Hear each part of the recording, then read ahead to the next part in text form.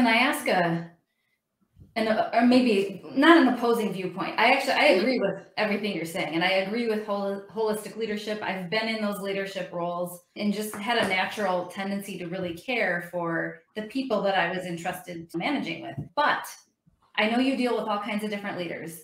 So playing devil's advocate, what do you say to the leader that says, okay, now I have 50 employees and now I have to be aware of them generally generationally. I have to be aware of them personally. I have to be aware of whether they're an introvert or not. How do what kind of time do they prefer? What do they want a flexible schedule? This person is struggling with some this personal thing. What do you say to the leader that says, I can't intersect all these different ways to categorize someone, for lack of a better word, and do that 50 times?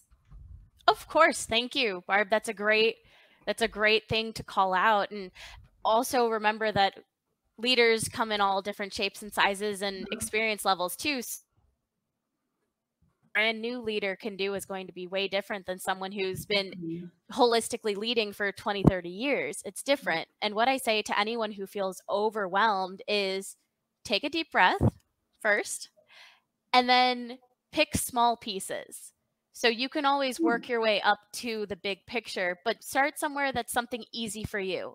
So maybe your first baby step could be ask more questions. Ask the people who say hello to you in the morning. Ask them how their mm-hmm. weekend was. Ask just start somewhere. So maybe it's taking 20 minutes in the morning on Monday and taking a lap and saying hello.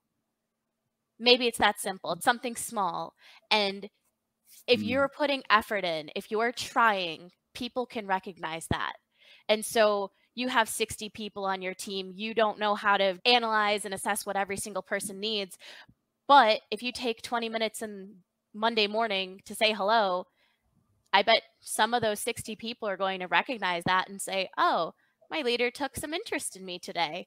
And then mm-hmm. maybe if something came up, they might swing by your office later and say, hey, you know how I mentioned X, Y, and Z this weekend? It's really bothering mm, me. Or yeah. baby steps, start somewhere. That's that, great advice. Great advice. Yeah. yeah, it really is. It really is. The bottom line is start small if you have to by saying good morning. It's good.